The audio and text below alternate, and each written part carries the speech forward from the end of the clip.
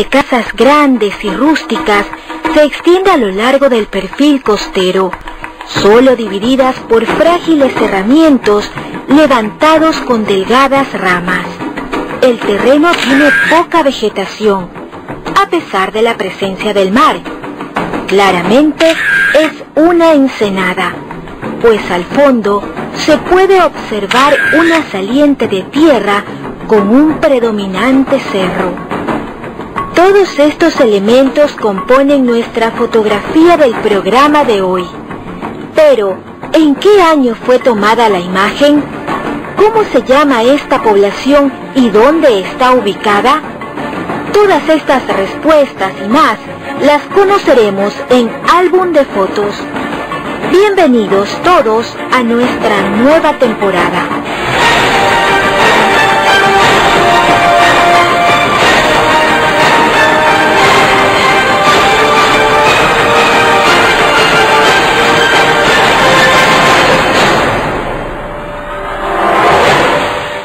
Parece que fue una playa. Hay olas ahí. Malecón 2000, antiguamente. Sí, porque esta está la... Pero este ya es viejo. Ya es viejo porque ya este, este, este no, no, no, no es nuevo. Este ya los tiempos antes ya, pues, ahorita está, está en otra forma ya, pues todo está cambiado. Pero puede haber sido donde es ahorita el Mercado Sur, el Palacio de Cristal, ¿no? O por San Borondón. Por la, por la, por la ensenada que está aquí, pienso que, pienso, no estoy seguro, que es la base de Salinas. La fotografía nos lleva al perfil costero ecuatoriano y la saliente de tierra que se observa al fondo nos da una pista geográfica inconfundible. Se trata de la península de Santa Elena. La zona es Chipipe, uno de los barrios del Cantón Salinas. Sin embargo, el año en que se tomó la foto es difícil de determinar. No hay calles en los alrededores y las viviendas son escasas. No hay mayores detalles, pero la memoria siempre conserva recuerdos que permite rescatar la historia. puedo decirle eh, de manera concluyente que fue tomada desde la casa Holst, que era la casa del doctor Knut Holst, eh, de Laboratorios HG, que estaba en el punto más alto de la loma de Chipipe, eh, donde ahora se asienta un edificio moderno, por supuesto. La casita que vemos aquí era una de, los, de las casitas que construían los guayaquileños que fueron a la, a la península en esa época, que iban a vacacionar, y eran como, como chalets, eh, todos abiertos alrededor con tela metálica para poder disfrutar de la brisa marina. Este dato nos ubica en las primeras décadas del siglo pasado, cuando comenzaron a llegar a Chipipe los primeros visitantes. Pues antes de este tiempo, solo estaban los nativos, que anteriormente eran llamados punteños, porque en la época de la colonia y del inicio de la república, al sector se lo conocía como la punta, hecho que cambió por las investigaciones del doctor Teodoro Wolf, que en 1894 determinó que esta saliente de tierra era una península. De ahí los habitantes recibieron el apelativo de peninsulares. En Chipipe, cuyo nombre proviene de la lengua chimú, un pueblo que habitó la antigua nación Puná, sus habitantes eran pescadores que de pronto se convirtieron en vecinos de otros ecuatorianos y extranjeros que llegaron por turismo y negocios.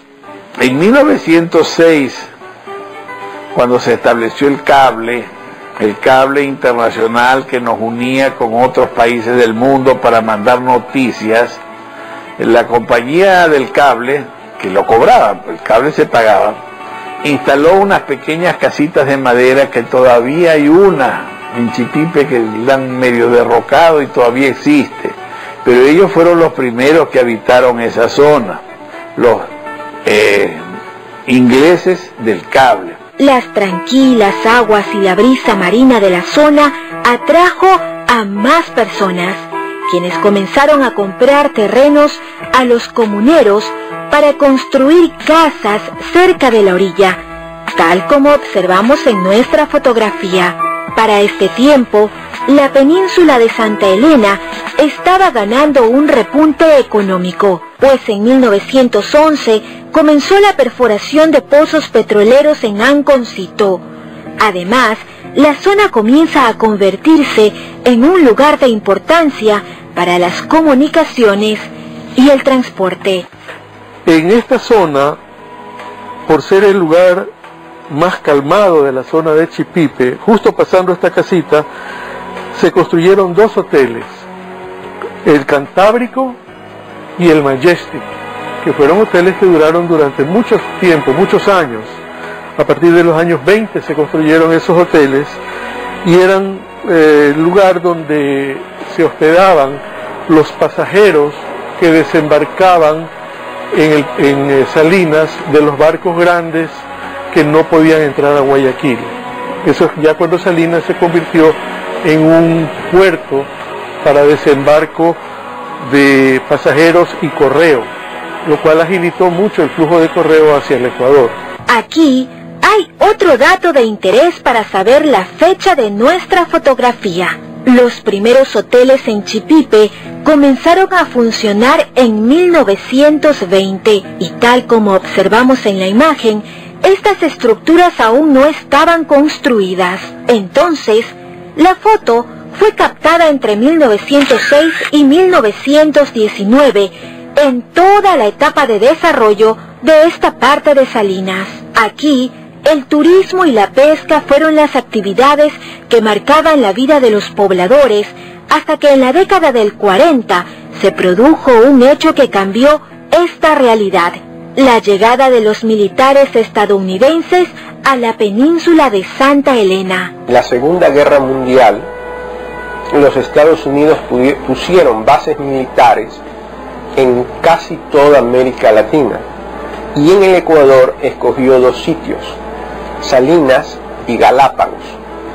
Entonces firmaron un tratado con el presidente de la República, que era el doctor Carlos Alberto Arroyo del Río, para que se den esas bases militares. Esto en derecho internacional se conoce con el nombre de eh, restricción a la soberanía de los estados y específicamente tiene el nombre de servidumbre internacional. A través de esa servidumbre internacional se dieron estas dos bases que estaban o tenían como sustento legal la firma de un tratado entre Ecuador y Estados Unidos.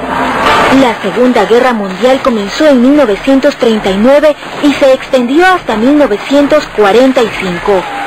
En ese periodo, los Estados Unidos declaró la guerra a Alemania, Italia y Japón. Y para impedir un ataque japonés por el Océano Pacífico, instaló bases militares en Sudamérica.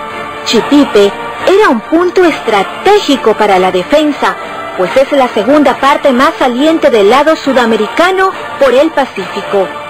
El acuerdo entre Estados Unidos y Ecuador fue firmado en 1942 y en marzo de ese mismo año, el presidente Arroyo del Río entregó oficialmente el área a los norteamericanos. Aunque los pobladores de ese tiempo Testigos directos de este hecho aseguran que los extranjeros tomaron posición de esta zona de Chipipe un año antes. En 1941 pues llegaron acá los americanos, se asentaron allí. ¿Y qué pasa? Que la gente que estaba allí, gente de, de Santa Rosa, que digamos se fue a vivir a Santa Rosa después, porque fueron prácticamente desubicados de ese lado, o sea que fueron sacados de ese lado y fueron a buscar aquí en Santa Rosa lo que hoy es el puerto pesquero de Santa Rosa. Y entonces ellos se quedaron en lo que hoy es esa parte de la Ensenada que se llama. Las autoridades ecuatorianas tuvieron que desalojar a la población, A los comuneros nativos los reubicaron, mientras que algunos propietarios que habían comprado terrenos a inicios del siglo pasado no recibieron indemnización. La segunda acción del gobierno fue entregarle medio millón de sucres, que era mucha plata en ese tiempo, a don Luis Federico Rantia, para que retire a los cholos de Chipipe, a los cholos pescadores, y se los lleve a un nuevo sitio, porque esa gente ya no podían estar allí porque eso era zona militar. Y entonces se crea el pueblo de Santa Rosa, que es donde actualmente están, los cholos de Chipipe. Así nace la actual población pesquera de Santa Rosa, casi por la entrada del cantón Salinas, mientras que la zona de Chipipe fue despejada por las actividades militares. Sin embargo, una vez terminada la Segunda Guerra Mundial, los estadounidenses abandonaron la base militar. Su presencia fue claramente operativa para evitar un posible ataque, pero su aporte al sector fue nulo. Cuando se fueron las bases norteamericanas se llevaron todo de lo que yo he estudiado, no dejaron nada a favor de Salinas, se lo llevaron todo. Y hay un dato interesante que menciona el doctor Jorge Villacrés Moscoso, que a raíz de estas bases, Estados Unidos quiso arrendar las Galápagos en el gobierno, de, gobierno posterior al doctor Arroyo del Río, que era el del doctor José María Velasco Ibarra y que la Asamblea Nacional Constituyente prohibió, en el 45, prohibió que se dé ese arrendamiento. Actualmente, en la zona donde operaron los norteamericanos, hay instalaciones militares ecuatorianas donde funciona la Escuela Superior Naval, la Escuela Superior Militar de Aviación y hasta el Aeropuerto General Ulpiano Páez. Luego del corte conoceremos más del Cantón Salinas, de dónde surgió su nombre y cómo se dio su desarrollo. Enseguida retornamos.